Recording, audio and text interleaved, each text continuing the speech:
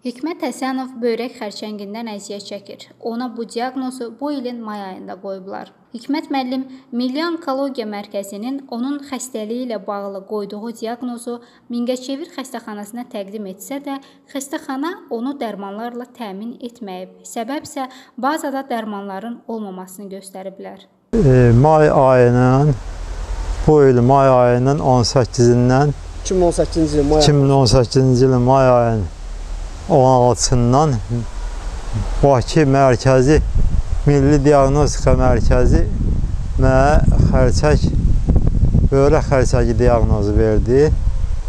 Mən həmən rəyi Milli Onkologiya Mərkəzinin rəyini gətirdim.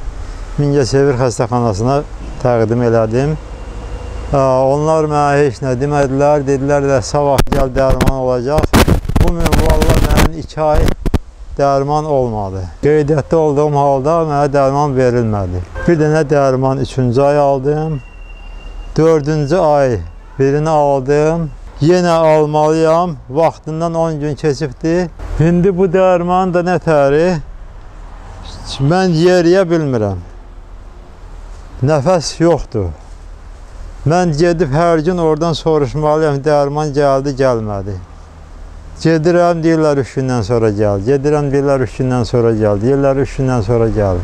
Belə-belə günü-günə satırlar, mən də o dözə bilmirəm. İstəyirəm sizin vasitənizlə aidiyyəti qurumlara müraciət edeyim. Mənim dərmanın vaxtında verilsin. Sonda onu da qeyd edək ki, videoda səsləndirilən fikirlərə görə Kanal 13 heç bir məsuliyyət daşımır və qarşı tərəfin mövqeyini işıqlandırmağa hazırıq.